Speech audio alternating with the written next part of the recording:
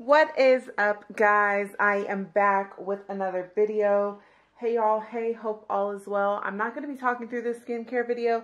I'm just going to show you guys my current skincare routine video. It is currently working for me. My skin is going through some things. Not so much, but it has been looking amazing lately. So this is my current skincare routine.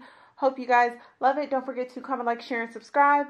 Also, if you guys use some of these products, definitely don't forget to comment below and tell me all about them so I can see what skincare products to try out next. Also, if you know any black owned skincare lines that I can be trying out, comment down below as well. But until next time, you guys, and also don't forget to check out my little kid, my sweet daughter. She's going to be somewhere randomly in this video. But bye, guys. Thank you.